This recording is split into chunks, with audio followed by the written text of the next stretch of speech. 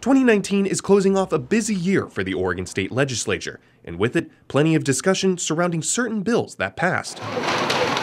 Two of those directly targeted plastic, banning both single use plastic straws in restaurants and plastic bags at grocery stores.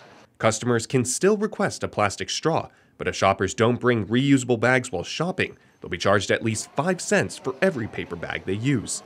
Earlier this month, we spoke with the store manager of Food 4 Less about the change. We do have to charge a nickel. Um, that's mandated by the state, so um, we can charge more. We've chosen not to. We're going to charge five cents. Roads will be different come January 1st, as drivers will have to watch out for the so called Idaho stop.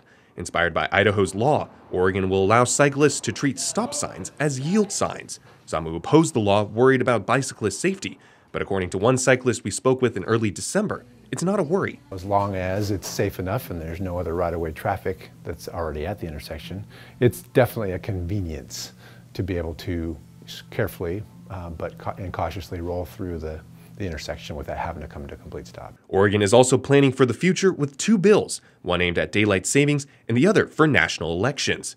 The state is set to move daylight savings to year round, but will need federal approval and similar laws passed in California and Washington to take effect. Oregon also joined the National Popular Vote Compact, which agrees to give the state's electoral college votes in presidential elections to the winner of the national popular vote. Supporters need 270 votes to enact, and Oregon brings that total to 196.